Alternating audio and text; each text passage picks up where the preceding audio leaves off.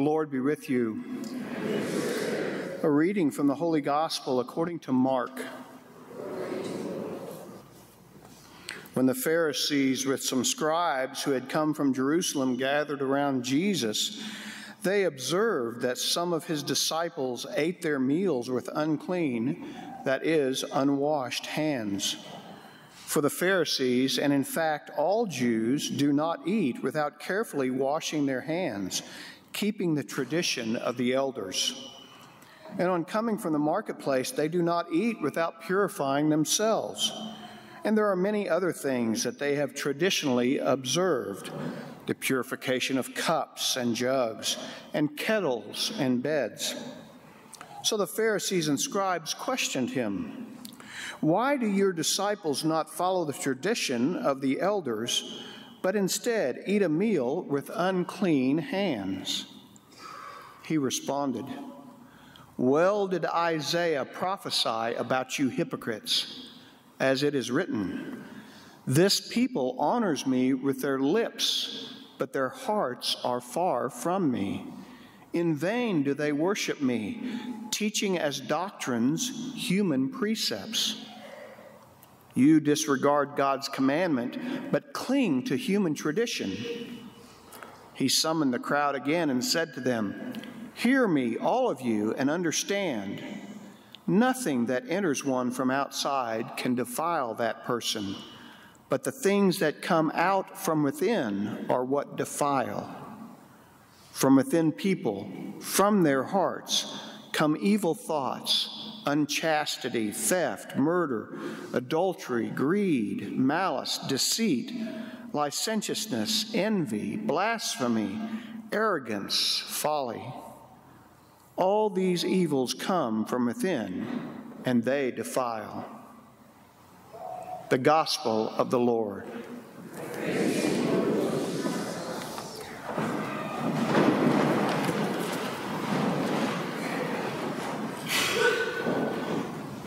Does anybody here have any traditions in your families? Christmas traditions or Thanksgiving or birthday or, you know, it's fall, so the first football game, maybe you have a tradition for that, whatever it might be. There's this story that I learned a long time ago. It's a little girl, she was, I don't know, eight or 10 years old, and for the first time, she was going to be helping her mother cook the Christmas ham.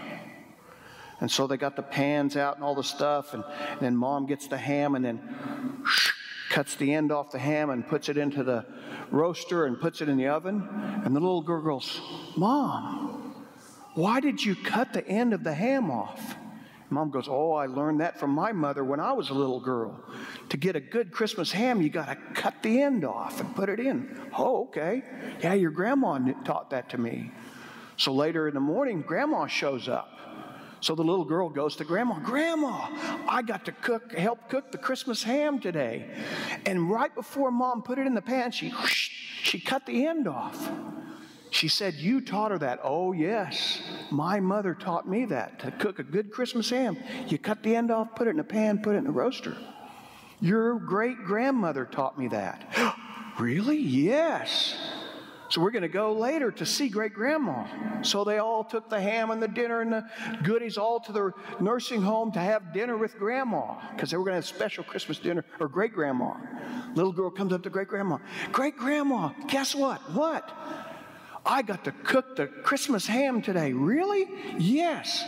And right before mom put it in the pan, she cut the end off. And she said she learned it from her mom, who learned it from you. Why did you cut the end of the ham off?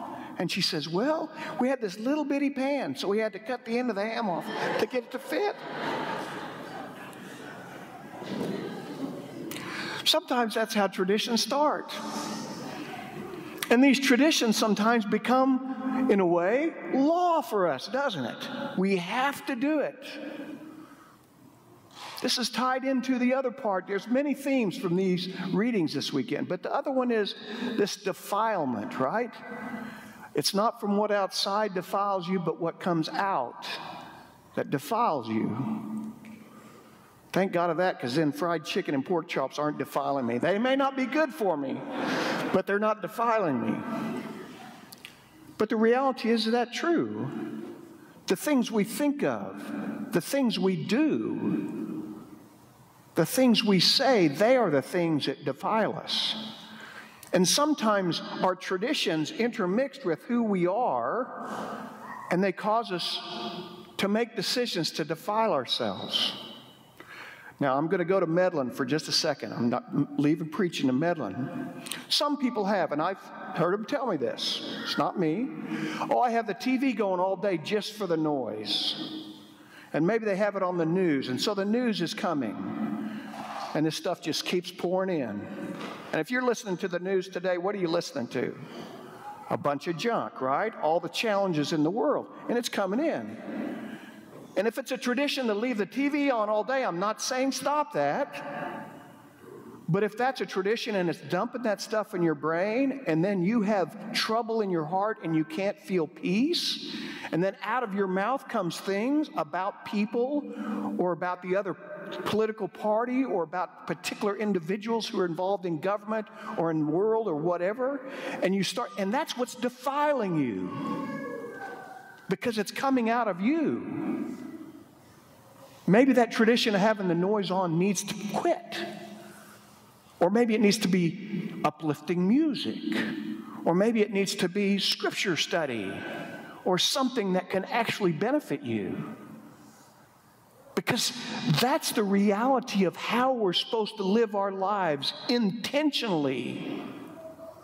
Intentionally. The first read or the second reading actually Humbly welcome the word that has been planted in you and is able to save your souls. And then the next part be doers of the word and not hearers only, deluding yourselves. Part of what we're supposed to look at in our lives all the time is to be intentional about how we live our lives. We're here at Mass, right? We're here at the most beautiful sacrament that we can share today, the Eucharist. We come together. Some are guests, some belong here, some are family visiting from other places. And we come together, and you can go to any Catholic church in the world and experience this beautiful understanding of, of hearing Scripture, of praying, of singing, and ultimately of receiving His body and blood, this gift that He gives us to go out into the world and to share our lives if we're just showing up to check the box so we don't go to hell, maybe we need to look at that. Because then maybe we're just hearers of the word and not doers. We have to be doers of the word. We had a guest at our first Mass, not a Catholic, was invited by another parishioner. I know him quite well. He's become a friend of mine since I've moved here to Bartlesville. It was his first time to Mass here in St. John's. It was the first time to Catholic Mass in a long time. And I've talked about him just a little bit because what I know about him is in the mornings when he gets up and goes and walks, he prays for you and I because he walks by our church. And he prays for Father John and for Father Carvajal. And he prays for the people that come to Mass here, whether they're parishioners or whether they're guests. And then he goes down the street and he prays for the policemen and the firemen. And then he gets down to another church and he prays for them. And then he prays for the people in the courthouse. He's being intentional about his life. He's taking a walk, he's getting good exercise, he's doing the things he's supposed to do for himself. But he's also a doer of the word. How are you at being a doer of the word? How am I at being a doer of the word? That's part of living an intentional life. Jesus is shaking his head at these Pharisees and these Sadducees because they say lots of things, but they don't do anything. They don't care for those around them. What did it say about good religion? Religion that is pure and undefiled before God, the Father, is this to care for the orphans and widows in their affliction, and to keep oneself unstained by the world. It's a fight to keep yourself unstained by the world right now because the evil one is attacking us from all sides. Everywhere, everywhere we go, the junk is coming at us. So we must keep our guard up in a way. We must do the things inside of us, make the decisions inside of us that helps us to live our lives the way God has created us to. That's why we come to Mass. That's why we are Catholics. That's why we are Christians. That's why, in, in God's infinite love for us, He gave us His Son. He gave us the church. He gave us the sacraments so we could be doers of the word, not just hearers. The question today, as it is every day, is how am I doing the word? I mentioned it before Mass, you know. Have you prayed this weekend? It's, it's a Labor Day weekend, right? And what is it to most people? To get an extra day off. The banks are closed, the post office is closed unless they're delivering Amazon packages, right? Schools are out, everybody gets a day off. What's, what do we celebrate this weekend? Labor Day. The beauty of work, the reality of doing something to help our families. Have you yet this weekend prayed and given thanks to God for the labor that has been in your life, whatever it is the jobs you had, the businesses you've owned, the ability to live, for many of you here, I know, a retired life and still be able to pay the bills.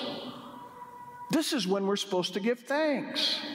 And then also, hmm, can we pray for the people in Bartlesville that need a job, the people in Oklahoma that are looking for jobs? Those people that it's difficult to find jobs because maybe they have a prison sentence in their background or they've got something that has kept them from being able to work. They want to work, they'd love to work, but they can't work. Maybe people with mental health issues that it's challenging for them to keep a job. Have we prayed for them? That's part of being intentional about our Catholic faith, being intentional about being a Christian is when these things come up. Do we have the time? Do we take the thought process to do these things? Or do we just do our traditions? It's the same thing every year, it's the same thing every day. Jesus in the gospel is trying to get these Sadducees and Pharisees to understand the importance of living an intentional life. May we, 2,000 years later, hear his voice and respond. The question will always be how am I at being a doer of the word? Let's ponder it today. Let's give thanks that we're in a country where we're free to join together and honor God. And let's reflect on what God might be calling us to in this moment. What He might be asking us in our Christianity, in our being brothers and sisters in Christ, in living the Word, doing the Word that He has so freely given us.